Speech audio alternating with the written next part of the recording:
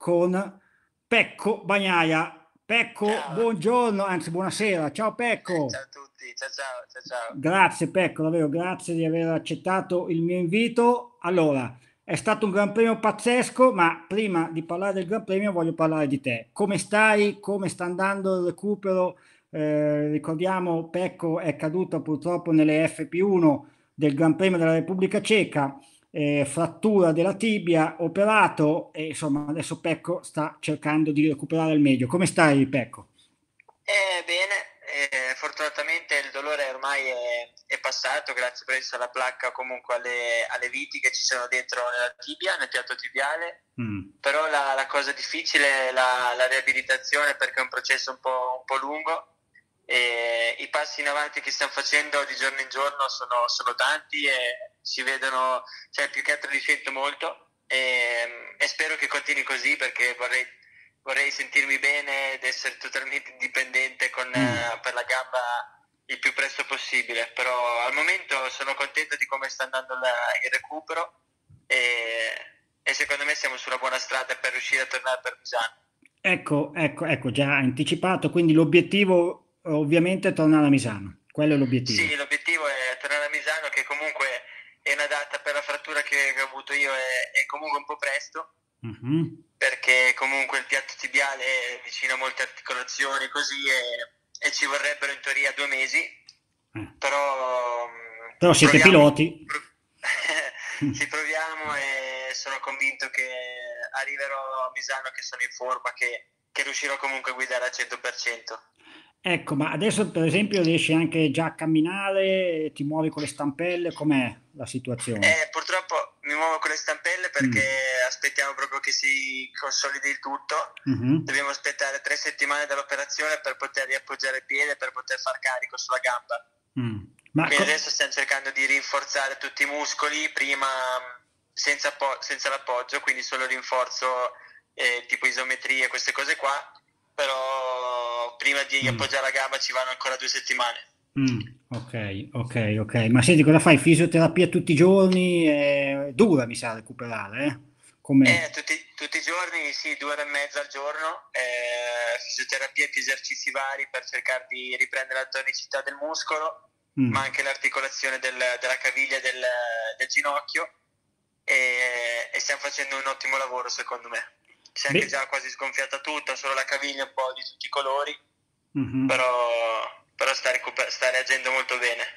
Bene, intanto si stanno collegando in tantissimi, in tantissimi, tutti ti fanno naturalmente un in bocca al lupo, gli auguri di pronta guarigione. Pietro dice, Pe- Pecco sei un grande, vogliamo vederti davanti a Marquez. Quindi, insomma, mica, mica male, esatto, anche tu. Senti, allora Pecco, siccome arrivano già tante domande soprattutto sull'incidente di Zarco, eh, allora direi di partire da quello. Allora intanto faccio un piccolo riassunto io, perché durante la MotoGP al decimo giro, se non mi ricordo male, della... all'ottavo All'ott- bravo, al, al, nono giro perché poi sono stati fatti 20 giri, bravissimo. E Zarco ha fatto una manovra che io su Moto.it in diretto ho definito scriteriata, andando ho a superare... anche penso vada bene. Esatto, e poi però nel dopo corsa, insomma l'avrai visto anche tu a Sky, ai microfoni di Sky, Valentino Rossi e Franco Morbidelli sono stati durissimi nei confronti di Zarco. Faccio una sintesi, Morbidelli ha detto è un mezzo criminale, una roba così, e eh, Valentino ha detto l'ha fatto apposta, gli è passato davanti e ha frenato, ma non si può fare a 310 km orari. Eh, io ho fatto questo piccolo riassunto, a te, a te la palla adesso. Allora, io penso che, penso che c'è sempre un po' di più questa moda di frenare e portarti davanti la traiettoria del, di chi superi. Mm. È una cosa che anche in Moto 3 si vede tantissimo ed è un qualcosa che veramente per, io trovo veramente pericoloso. Ah, certo. e, ehm, a noi è sempre stato insegnato di, che quando fai un sorpasso comunque superi senza andare ad ostacolare troppo il, il pilota che è davanti perché comunque è, è giusto che sia così però purtroppo vediamo sempre più spesso e sempre più spesso anche in Moto 3 questa cosa di, di staccare e andare a tagliare la, tra- la strada al, al, pilota che è mm. davanti mm. per, per, non dar proprio modo di, di, essere ripassati o comunque per non dar modo di, del, di farsi incrociare. Mm. E oggi su Zarco penso che abbiamo visto più o meno la stessa cosa perché io penso abbia sbagliato. E perché se si arriva veramente forte stava facendo una traiettoria proprio che neanche lontanamente vai lì con la, con la nostra moto perché non è neanche una curva quella quindi si è allargato veramente tanto e penso l'abbia fatto proprio per non, per non far ripassare Franco che sapeva che tanto staccava molto forte alla, alla staccata certo. della 3 mm-hmm. e quindi penso che sia stata una cosa no, sicuramente non voleva creare tutto questo mm-hmm. eh, però secondo me si poteva evitare ecco. Ecco, Pecco, vabbè, avrei visto le immagini, eh, sono state pazzesche e anche parlando con Valentino eh, molte ore dopo quanto è avvenuto, insomma lui era ancora scioccato, era ancora un po' spaventato. Come eh, si... pensa, pensa, quanto ha scioccato noi a guardarla dalla televisione, pensa a lui che se l'è vista proprio in faccia, eh, mm. penso sia veramente dura. Ah sì sì, ma, ma, come si fa a tornare in moto? Perché noi umani, io sarei andato a casa, chiuso tutto e rimasto a letto per dieci anni di fila. Eh, secondo me è, è, la concentrazione quella lì. Noi siamo abituati comunque a, a, scendere in pista e dare il 100% e quindi è un qualcosa che ti dimentichi abbastanza in fretta, però poi quando scendi di nuovo che ci ripensi un attimo fa sempre, la, fa sempre effetto. Mm. Ah, sì, sì, sì, sì. E senti, anche già che siamo in tema di incidenti, anche quello della Moto 2 è stato pazzesco. Allora, in questo caso eh, la dinamica è molto differente. Al, terzo, al quarto giro, all'inizio del quarto giro, Enea Bastianini ha perso il controllo della moto uscendo dalla 1 in un punto dove già si mette credo la terza marcia però tu magari lo puoi dire meglio no, di me. seconda, secondo me seconda. Sì, lì si è ancora in seconda. Comunque ha perso il controllo della moto. La mo- è caduto, la moto purtroppo è rimasta in mezzo alla pista, anche il pilota Bastianini fortunatamente è riuscito ad andare nella via di fuga, la moto è rimasta in pista, naturalmente dietro di lui c'era il gruppone di piloti, si sono allargati a ventaglio, ma Sciarina all'improvviso se l'è trovata davanti e anche in questo caso il volo è stato pazzesco, fortunatamente anche in questo caso senza nulla di grave. Cosa, come l'hai vista tu? Allora, diciamo che quella è stata proprio non intenzionale perché eh, certo. Enea stava spingendo per, essere, per stare davanti perché stava perdendo un po' di posizioni, era, anche Bezzecchi l'aveva appena superato e quindi stava cercando di spingere per, per rimanere lì col gruppo davanti visto che Martina aveva già preso penso 6 decimi di vantaggio, 6-7 decimi. Eh sì. e, e, quindi è uscito dalla prima curva che è una, è una curva dove comunque scollina anche un po', quindi dietro è un po' al limite, l'ha lanciato e e una volta che la moto rimane in mezzo, per quanto tu riesca a schivarla, è molto difficile che, uno, che un pilota non riesca a prenderla perché mm. ehm, ti si toglie uno da, davanti di, di, improvviso e te non fai proprio in tempo a far nulla. Non fai niente, certo. È già successo purtroppo tantissime volte questa cosa, questa dinamica di caduta qui. Mm-hmm. Sì, sì, assolutamente. Senti, tanti dicono, leggo un lettore che si chiama Quando ce vo, ce vo, quindi naturalmente uno pseudonimo, dice eh, Zarco meriterebbe almeno una giornata di squalifica. Tu sei d'accordo? Ma eh, alla fine io sono, sono, un pilota, quindi mi occupo semplicemente di andare in moto e, e, c'è gente che si occupa per queste cose qua, quindi non ho voce in capitolo, voce in capitolo per questo vedremo cosa, se gli diranno qualcosa in, per questa situazione qui. Ecco, eh, adesso prima di parlare della gara, eh, Pecco, ti coinvolgo nell'altro grande argomento del weekend che è stato naturalmente il divorzio annunciato da Dovizioso con la Ducati. Allora, adesso non ti voglio coinvolgere in questioni di mercato, robe tue, insomma, che non, non puoi svelare. Allora, eh, ti, so, ti chiedo solo questo, intanto che effetto ti ha fatto sentire Dovizioso fare questo tipo di annuncio? Ma mm, non me l'aspettavo sicuramente così. E era una cosa che c'era nell'aria pur, purtroppo da un po' di tempo, mm. non, però non mi aspettavo sinceramente che venisse fuori in questo modo qua. Alla fine ero a guardare, stavo guardando il, mi sembra la Moto 3, la Moto 2, non mi ricordo che turno fosse. Sì, c'erano, c'erano le qualifiche, erano pronte la Moto 3 per le qualifiche, per la Q1. Ecco, ed è uscito Battistella dal, dal camion Ducati. E, Battistella, scusami, questa... è, il manager, è il manager di Andrea Dovizioso, per chi non lo sapesse. Vai pure. Sì, ha dichiarato questa cosa qua e sinceramente non, non me l'aspettavo. E, e, dispiace perché comunque Dovi è un pilota, una leggenda del nostro sport, si può dire tranquillamente. ah, e ha fatto diventare la Ducati una moto che può vincere tutte le domeniche mm. e, e, sicuramente fa, interrompere un rapporto così di otto anni non è sicuramente stato facile. Eh no, eh no. Senti, naturalmente si fa anche il tuo nome per sostituirlo. Io ho fatto un sondaggio sui social eh, dove sì. chiedevo, eh, allora, fuori Dovizioso, chi prenderesti tra Bagnaia, Zarco e Lorenzo, che sono i tre nomi no? che si fanno per quel posto in Ducati? Allora, il 56% dei lettori ha detto che vorrebbe Bagnaia in quel posto lì, il 24% Lorenzo e il 20% Zarco, quindi insomma quasi un plebiscito per te, Pecco. Ma io, io, io, sono con i vostri lettori allora. Ma senti, tu... No, sono cose che purtroppo mm. al momento io non, non, posso fare niente perché sono qua a casa eh, certo. e dovrò stare a casa ancora per una gara, quindi non... E mm. purtroppo quando dovranno scegliere si sceglierà su, sulle, sulle feeling che ho dato magari per, sulla prima gara, le prime due gare che abbiamo fatto ai Reds. Mm e, e spero, che, spero che, abbiano, cioè che io abbia fatto quello che servirà per, per poter andare lì, però al momento ancora eh, non so dirvi niente.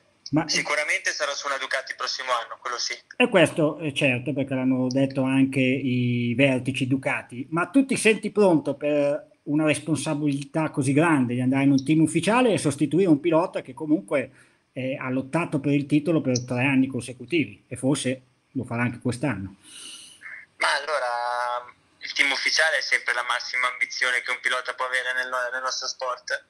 E, ehm, il team ufficiale c'è solo in MotoGP, quindi è una, una, cosa incredibile, soprattutto avere dietro un, un'azienda come, come, Ducati è solo una grandissima, è solo molto bella come, come cosa, è una grandissima soddisfazione immagino però sicuramente porterà molte pressioni che bisognerà gestire e fortunatamente io sono circondato da persone che mi aiutano tanto in questo e quindi non è un qualcosa che mi spaventa troppo, anzi, e, e sono sicuro che comunque eh, arri- potremmo arrivare a fare dei grandi risultati. Alla fine già Reds, se non mi si fosse rotto il motore, dava secondi. Esatto. E, eh sì a Bernon secondo me per come era partito la, il weekend stavamo, avremmo fatto una bella gara come anche qui in Austria secondo me certo. con il nostro potenziale avremmo fatto una gran gara però ovviamente tutti, tutti insieme però penso che secondo me è, è solo una grandissima soddisfazione poter arrivare nel team ufficiale Ecco, Francisco ti saluta dal Brasile ti, e ti augura buon recupero dal Brasile, quindi grazie Francisco che ci segue fin da là.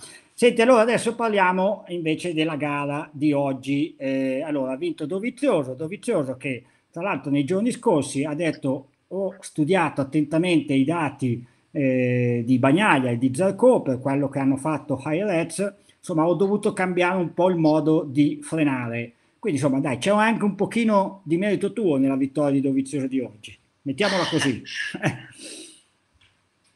Eh, cioè, secondo me era tutto, tutto weekend, era senza rivali il Dovi oggi mm. era nettamente più veloce sempre in quasi tutte le, quasi tutte le sessioni, a parte con, a parte con erano lui e Pole Spargarò. Vero. Però Pole Spargarò alla fine molto spesso nelle, nelle prove è molto veloce mm. e poi in gara va, fa un po' di casino e in più per la seconda ripartenza non aveva neanche più la gomma media che era quella che aveva usato fino al, fino a venerdì quindi aveva, doveva, ha dovuto fare la gara con la soft e probabilmente non, non si è trovato bene quanto con la media mm. Ecco, scusami, Pecco, spieghiamo un po' perché tanti lo chiedono, ma com'è possibile, chiedono, che un pilota non abbia la gomma per fare la gara? Eh, spiegalo tu come funziona. È che praticamente ogni weekend ci danno ehm, un tot di gomme da utilizzare, uh-huh. solitamente sono 5 o 6 per mescola uh-huh. e, e, alla fine del weekend arrivi sempre che comunque non... Devi, se devi fare i, i time attack per entrare in Q2 o comunque per le qualifiche e altre due gomme per, la, per dire facciamo un esempio con la soft no? Uh-huh. di solito la soft ne danno 6 okay. e te ne usi una per la, l'FP2 che fai il, la provi per magari la distanza gara o fare un time attack, ne usi due per l'FP3 per entrare in Q2 direttamente, ne usi altre due per la qualifica e ne hai solo più una per la gara. Quindi alla fine eh, eh, bene o male le gomme rimangono sempre solo quelle. Ok. Ok, chiarissimo, sei stato chiarissimo. Ecco, ma al di là dei problemi di Paul Spargarò e dei suoi sbagli, perché purtroppo ne commette sempre parecchi, Dovizioso dove ha fatto la differenza oggi, secondo te? Ma secondo me oggi si vedeva proprio che guidava totalmente rilassato e tranquillo. Mm. E rispetto tipo all'anno scorso che ha dovuto vincere contro Mark Marquez, mm-hmm. e si vedeva che oggi ne aveva proprio nettamente di più. Mm. Eh, staccava fortissimo, eh, aveva un grandissimo controllo della moto in staccata in ingresso e, e in trazione veramente aveva, riusciva a sfruttare tutto quello che la nostra moto ci può dare, quindi eh, la differenza l'ha fatta soprattutto da metà gara in avanti che ha fatto quello strappettino per, uh, per andarsene un po' via da Miller e, e da Mir mm-hmm. e poi non ha, non ha più dovuto neanche, dover, non ha neanche dovuto chiudere o spingere per gli ultimi giri.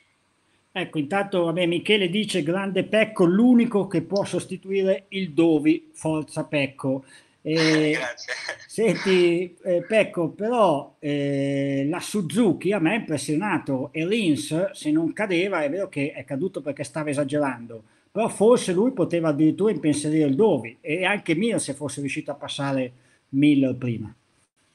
Io penso che Rins oggi sarebbe stato l'unico rivale di Dovi mm. eh, perché ne aveva tanto. La Suzuki si vedeva che, che, nonostante avesse meno motore, probabilmente impennava meno di certe curve e riusciva a, ad accelerare bene lo stesso.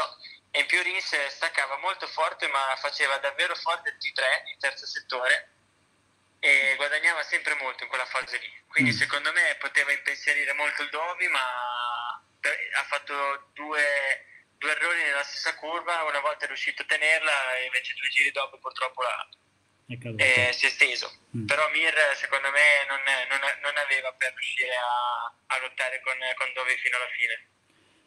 Ok, e invece cosa pensi del, del sorpasso decisivo finale tra eh, Miller e Mir? Ricordo che Miller, anche Miller ha dovuto usare una gomma che non avrebbe voluto usare, ha dovuto usare una soffice anteriore perché non ne aveva più di medie. Come la valuti tu? Secondo me lì se non avesse chiuso la traiettoria eh, aveva lo spazio necess- aveva già abbastanza spazio per far sì che Mir non, è, non sarebbe entrato. Ah. Quindi non, non, serviva secondo me chiudere così tanto la traiettoria uh-huh. e, e, quando l'ha chiusa, quando è entrato dentro, poi gli ha iniziato a muovere davanti. Uh-huh. Però cioè, l'unica roba che posso dirti io è che cioè, da casa fai veramente fatica. Sicuramente Jack ti sa spiegare meglio Ah, certo, cosa certo. è successo l'ultima curva, la penultima curva, mm. però da quello che è sembrato era che era un po' troppo stretto e quindi ha fatto fatica a farla girare. Beh, pe- pensa Pecco che noi giornalisti giudichiamo, da, in questo caso anche noi da caso, dalla sala stampa, senza neanche sapere andare in moto, quindi... Eh, va bene, senti, e tra l'altro... Infatti, infatti siete pochi ma buoni. Bene, va bene. Sì, tra l'altro Miller ieri è stato molto carino nei tuoi confronti. Lui ha detto, commentando eh, quanto accaduto con Dovizioso, ha detto mi dispiace che non avrò una leggenda, ha detto lui, che sono le parole che hai detto tu prima, come Dovizioso al box, ma a questo punto spero che eh, sia Pecco a venire con me perché dice vado molto d'accordo con lui ed è molto forte. Quindi il rapporto con Miller è molto buono. Sì, sì, sì, siamo compagni di squadra ormai da questo secondo anno, mm. ci conosciamo da tanti anni perché alla fine quando io facevo il CEV lui era CEV con me, quindi eh, ci conosciamo dal 2011 mm-hmm. e tra l'altro la mia prima vittoria al CEV c'era lui con me al, sul podio. Eh, e, è un pilota forte, molto, alla fine secondo me nel box eh, in MotoGP fai fatica a chiacchierare molto perché... Mm perché c'è tanto lavoro da fare, fai fatica, però comunque si chiacchiera e parliamo delle gomme, parliamo del, del cross perché lui è appassionato molto di motocross o comunque Vero. di altre cose che facciamo a casa, quindi mm. il rapporto è abbastanza buono. Mm.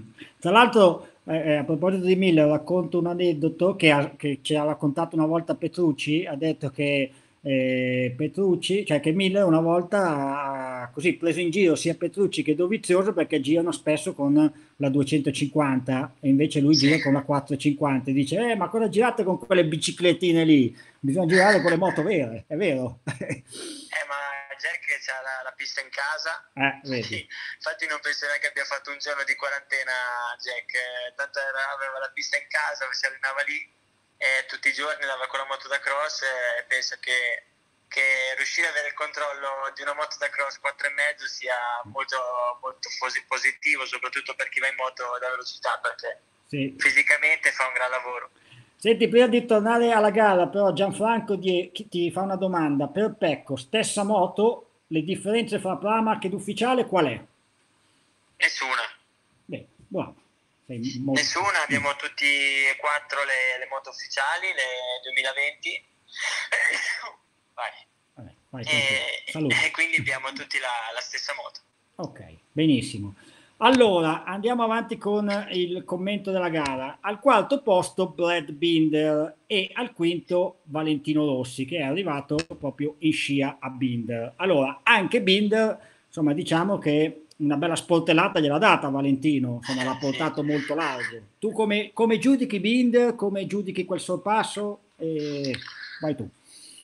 Allora, io Binder lo conosco anche lui da tanti anni e, mm. e, lui ha un po' questo modo qua di superare alla fine anche Moto 2, tutte le volte che mi ci sono trovato in, in lotta, una sportellata l'ho sempre presa. Quindi è un pilota molto aggressivo, molto mm. forte, si può assolutamente fortissimo e, però ha questo modo di, di, affrontare le lotte in modo molto aggressivo e, e oggi su Vale gli ha dato veramente una bella sportellata che, eh sì. che, gli ha tolto la possibilità di provare a lottare per il podio secondo me perché Vale comunque aveva un bel passo addirittura per il podio dici tu?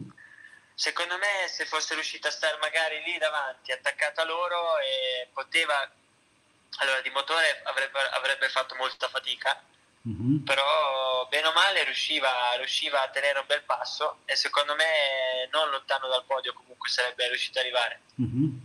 E, e, la gara di Valentino appunto beh, come la giudichi? Buona, molto buona. Purtroppo ha sempre il limite in qualifica Valentino perché poi in gara gira forte. Sì, purtroppo se, è stato strano che col passo che, che riusciva a avere durante le prove eh. non sia riuscito a, a entrare in, in Q2 direttamente e comunque se passi dalla Q1 hai meno gomme, fai sempre mm-hmm. molta fatica ad essere veloce per la Q2 e ogni tanto ti riesce ma fai fatica e quindi bisognerebbe sempre riuscire a entrare in Q2 e quindi secondo me se Vale fosse riuscito a, pass- a partire nelle prime due file oggi sarebbe stata diversa la gara perché non avrebbe perso tempo con, con Binder o comunque con, nella prima fase di gara che anche con Vignales stava perdendo un po' di tempo. Mm. Ma quindi ormai è diventato sempre più importante partire davanti, lo è sempre stato, ma adesso mi sembra più che in passato, soprattutto poi con una Yamaha eh, che, dove, con la quale fai fatica a passare il rettilineo, giusto? Esatto, sì, penso che ormai se parti già in terza fila fai, inizi a far fatica, riesci comunque a fare una bella gara, mm-hmm. perché riesci, però è, fa, è difficile poi riuscire a lottare per la vittoria comunque senza, senza avere problemi di gomma o così. Quindi secondo me partire nelle prime due file è proprio è diventato quasi un, un obbligo ormai in MotoGP. Per, per, puntare alla vittoria o al podio. Senti, tanti ti chiedono di Mark Marquez, ne metto assieme due domande, una cosa lui più degli altri, se ha qualcosa più degli altri e se con la Ducati vincerebbe tutto. Questo è un altro di quegli argomenti che fanno sempre chiacchierare. Ma, eh, intanto è con la Honda, non... E quindi lasciamolo lì. lasciamolo in onda, finché, finché rimane in onda sappiamo che ha la moto fatta esattamente per lui, eh, per il suo stile di guida, è un pilota assolutamente il più forte di tutti, bisogna dirlo perché comunque vince il mondiale da 4 anni e, e mi hanno sempre insegnato che chi vince il titolo è il pilota più forte di tutti. Quindi al momento è così e, e, e già che riesce a sfruttare al 100% tutto quello che ha dalle gomme fino a, alla moto, quindi al momento è, è, ai Reds era uno step sopra, soprattutto la prima gara, eh sì. anche perché la seconda poi si è, non c'era, sì, però sì. Era, era, veramente veloce la prima gara di Reds. Ecco, ecco, tanti ti chiedono uh, delle gomme, come funzionano, in particolare c'è questa domanda che mi fa sorridere perché mi piace, dice eh, com'è possibile guidare di traverso con queste gomme senza bruciarle? Eh, chi guida pulito le distrugge, questa è la sua valutazione naturalmente, di masca o qualcosa del genere. Ma guidare pulito è sempre la, la miglior cosa che si, si possa mm. fare, però in, uh, la cosa è che se distaccata riesci a metterla un po' di traverso, comunque riesci a farla anche girare di più la moto, quindi mm. è, un, è, un, aiuto. Mm. E se tu fai traverso distaccata non vai a consumare la gomma, se la consumi ma non la consumi in una zona dove non ti dà fastidio per il grip. Mm. Mentre invece in accelerazione bisogna fare veramente molta attenzione all'apertura del gas, bisogna essere molto bravi a gestire la potenza e, e, le, e lo spin, perché se la moto inizia a scivolare dietro la mangi proprio tanto, quindi è molto importante essere bravi a gestire tutto col gas. Che, che, bello, Pecco, guarda, spieghi in una maniera perfetta, guarda, sei prontissimo per sostituire il Dovi, questa è la battuta che faccio io, eh, naturalmente. Bra- bravissimo. Senti, introduco l'argomento Moto 2, perché con una domanda, Marini può fare il salto in MotoGP nel 2021? Cioè, al di là di, di questioni contrattuali, secondo te come, come guida, come capacità, è pronto per fare il salto? Io penso proprio di sì, l'ho visto veramente, veramente in forma quest'anno e già dalle, dagli allenamenti che facevamo prima che riprendesse la stagione avevo visto mm. un, un, un Maro molto motivato, molto forte di testa e la, la, lo sta dimostrando, tant'è che eh, oggi è stato bravo perché secondo me ha fatto una bella gara, eh, finì il secondo con un Martin comunque che era veramente, veramente forte mm. e ha dimostrato di avere anche l'intelligenza giusta. E poi lo vedo bene proprio come guida, penso che, penso che possa, possa, fare il salto in MotoGP ormai, è, è diventato più pronto rispetto all'anno scorso. Ma la sfida per il mondiale è tra lui e Bastianini. Allora ricordo che Marini è primo in classifica, Bastianini è secondo a 5 punti e poi c'è Martin a 19 punti, se non ricordo male. Io dico che la sfida è tra i primi tre in campionato ah. al momento. Uh-huh. Ok. E spero che Luca e riesca a continuare così perché secondo me se lo merita, e ha fatto dei grandi sacrifici, è diventato veramente un pilota veloce e forte e, e penso che si meriti, si meriti di, di passare in MotoGP. Ecco, invece l'ultima considerazione sulla Moto 3, un gran casino, il podio è cambiato due o tre volte, piloti che sono andati sul verde all'ultimo giro, tra cui Celestino Vietti, che poi è arrivato settimo se non ricordo male, sesto, eh, sesto e settimo Arbolino, eh, ha vinto Arenas che eh, ha un bel vantaggio anche in classifica. Tu come la vedi la Moto 3 in generale? E poi aggiungo una considerazione. Allora io credo che i piloti italiani, per quanto sono forti, potrebbero vincere tutte le domeniche e alla fine però vinciamo poco. Questa è la mia considerazione. Come la vedi tu? Allora, io parto da, nel dire che secondo me Arenas ha la guida perfetta per la Moto 3 di, di, di oggi, per mm. come è adesso la Moto 3. Perché? Perché, mm. perché partendo dal, dal, team ha un ottimo team, eh, la, moto, la, sua moto è molto veloce e lui riesce a sfruttarla al 100%. In più ha la, l'aggressività giusta per poter lottare, per, mm. tant'è che ne ha vinte 3 su 5. Eh sì. uh, è veramente forte nella fase, di, nella fase durante tutta la gara.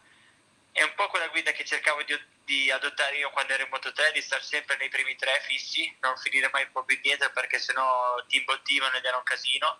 Mm-hmm. E lui è molto bravo in questo. Mm. E poi secondo me eh, Celestino oggi ha fatto una gara veramente spaziale, è sì, stato eh. fortissimo. Mm-hmm. c'è stata un po' di sfortuna secondo me perché Raul Fernandez gli ha dato veramente una sportellata abbastanza inutile e l'ha buttato tredicesimo. Vero. Ed, è stato l'unico, ed è stato l'unico che comunque da così indietro è riuscito in un giro, penso, a ritornare su. E, e secondo me il, il podio se lo meritava, ma quando, Moto 3 ormai è diventato veramente un casino sì, e bisogna essere veramente, penso anche un po' ignoranti negli ultimi due giri di gara. Veramente, veramente, sì, troppo, troppo un casino. Allora, Pecco, ti saluto con questa considerazione di Amedio, vediamo se la trovo. Bravo Pecco, cerca di non cambiare troppo, il moto mondiale ha bisogno di persone come te. Grazie. cercherò di rimanere così sempre. Ah, non, ho, non ho dubbi su questa cosa qua, non ho dubbi, non ho dubbi. Pecco, io ti ringrazio moltissimo, è stato per Grazie me veramente un piacere chiacchierare con te, però insomma adesso voglio vederti in pista. Bene, eh, bello, no, bello il telefono, ma insomma la pista è un'altra cosa. Grazie mille. Ciao Pecco, buona serata. Ciao, ciao. ciao a tutti. Serata, ciao, ciao grazie. Ciao, ciao. Eccoci qua, amici appassionati di moto. Credo sia stata un'altra diretta eh, divertente. Pecco è davvero una persona molto piacevole, veramente piacevole ed è un gran pilota, l'ha dimostrato in Moto 2, l'ha dimostrato in Moto 3 prima, l'ha dimostrato in Moto 2 vincendo il mondiale e eh, fra poco lo dimostrerà anche in MotoGP, l'ha già dimostrato eh, vince, cioè, facendo un podio a Jerez che purtroppo gli è stato tolto dalla rottura della moto. Quando Cevò Cevò dice troppo poca mezz'ora, allora troppo poca mezz'ora però domani sera alle ore 18 dopo GP con Nico Cereghini, l'ingegnere Giulio Bernardelle e un ospite molto gradito che tornerà con noi, è stato con noi settimana scorsa, quindi è facile sapere chi è. Io ringrazio Luciano Lombardi in regia che come sempre fa miracoli e ringrazio tutto Moto.it per la passione che mette nel moto mondiale e in tutto il settore delle moto. Ciao a tutti, seguiteci sempre. Ciao a tutti, grazie.